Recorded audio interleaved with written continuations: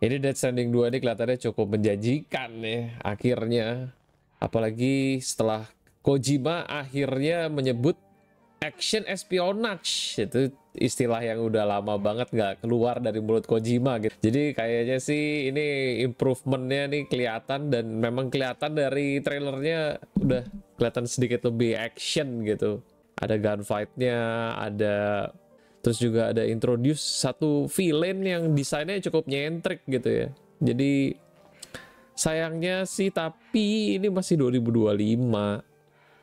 Tapi kalau ngeliat begini sih kebayang dulu zaman Metal Gear Solid ya. Dia juga improve banget di Metal Gear Solid 2 dan menurut gua sih menurut gua pribadi Metal Gear Solid itu puncaknya emang ada di Metal Gear Solid 3 jadi memang Kojima ini sepertinya butuh waktu untuk pemanasan ya. Setelah Death Stranding 1, mungkin banyak yang terbelah kalau mikir gamenya tuh terbagi dua kubu ya. Ada yang bosen banget karena walking simulator katanya. Tapi nampaknya udah bukan alasan lagi dan udah bukan walking simulator ini sih Death Stranding 2. Kalau melihat trailer ya. Jadi let's go 2025.